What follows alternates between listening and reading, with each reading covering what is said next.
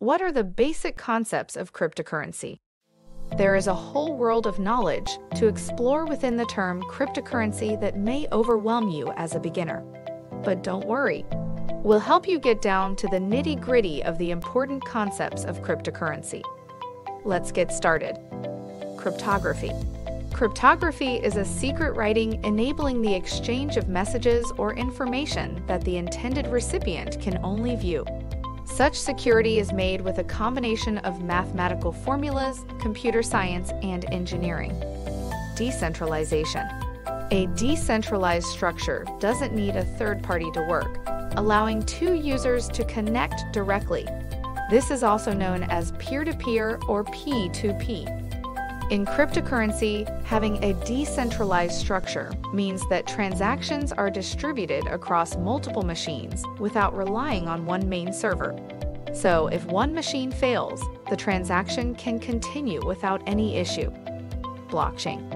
A blockchain is a shared, unchangeable ledger holding lists of records, also called blocks, of digital asset data, which are stored and chained together.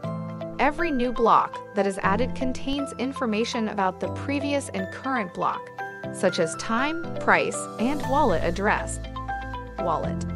You certainly need a wallet if you start trading cryptocurrencies. A crypto wallet is like your bank account where you can keep digital currencies. You can choose a hardware wallet, which is a physical USB that you connect and disconnect from your computer. Or you can use a software wallet, which is a program you can install on your preferred personal device. Between these two, the hardware wallet is usually the safer choice. Mining and staking. Last but not least, crypto mining and staking are two ways to participate in the crypto network's consensus and earn cryptocurrencies passively. Staking involves locking up your crypto holdings for a certain period to aid in the blockchain's operation while mining is the process of adding a new cryptocurrency, which would require you to run specialized hardware to solve complicated math problems and confirm transactions. And there you have it.